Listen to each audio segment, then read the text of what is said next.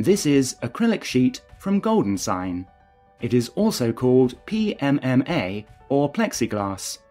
Our acrylic sheet is made of 100% virgin material, which is imported lucite material with transparency that can reach 92%. Per sheet comes with both sides protected PE films or craft paper. Our acrylic sheet's popular thickness is from 1 to 30 millimeters, which is widely used in advertising, decoration, cabinets, building, etc. It has these features 1. Good weather resistance. 2. Light, safe in use. 3. Non toxic. 4. Easy to process.